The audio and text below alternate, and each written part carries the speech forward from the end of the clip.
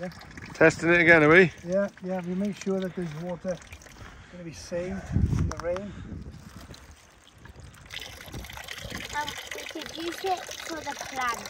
So we clean it, then we give it to the plant. That's right. Going to try the other side now. This is the one I just put together today. So this is the very first go. they don't work that well.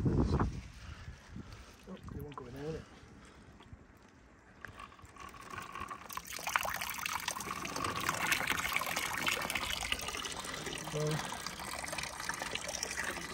our water resilience program is underway. I haven't got that sized up yet. I'm going to